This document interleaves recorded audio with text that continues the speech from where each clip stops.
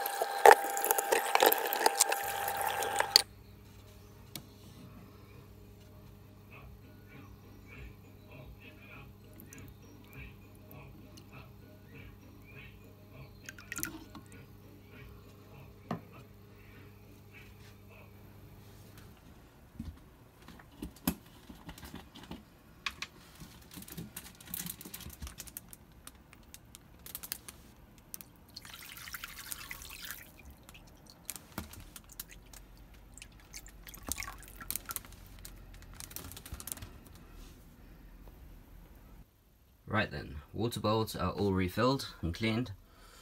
Um, so next we're going to talk about humidity quickly. So one thing I do in the mornings, I go around and look at all the humidity gauges I have in my enclosures. 50% for a royal python is just fine, but I do like to keep it a little bit higher.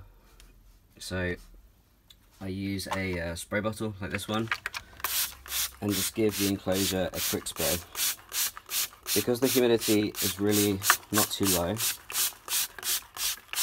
that there is enough. The humidity will be boosted by about 5% and um, I'm happy with that. So that's what I do for all of the enclosures uh, just to make sure that the animals will be uh, healthy. If um, if the humidity is fine obviously I don't spray it. If it's really low sometimes I'll use a, uh, a mister so I don't have to saturate the tank too much. But yeah so that's uh, just one of the other jobs of the day. So, last job of the morning is to feed the bearded dragon. So today he's getting some kale, broccoli, beans, radish, a little bit of leftover red cabbage, peppers, some cranberries, and a Cape gooseberry. Um, all of that will be dusted with uh, multivitamin. And today he's getting, oh, uh, today he's getting some calcium as well. So I will cut that all up and then we can feed him.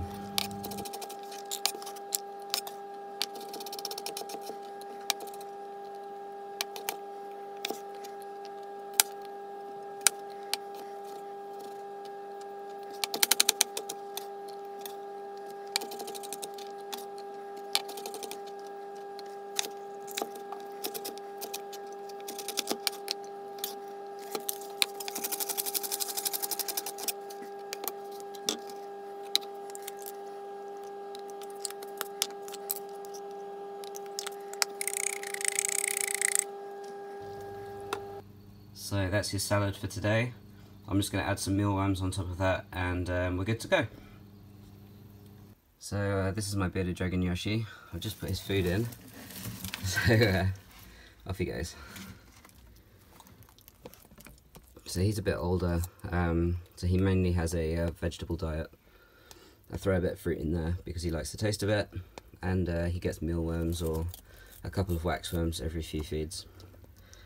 But as you can see, he gets fairly excited about his food. So um, that's the last job of the morning. Next job will be tonight when I feed the snakes.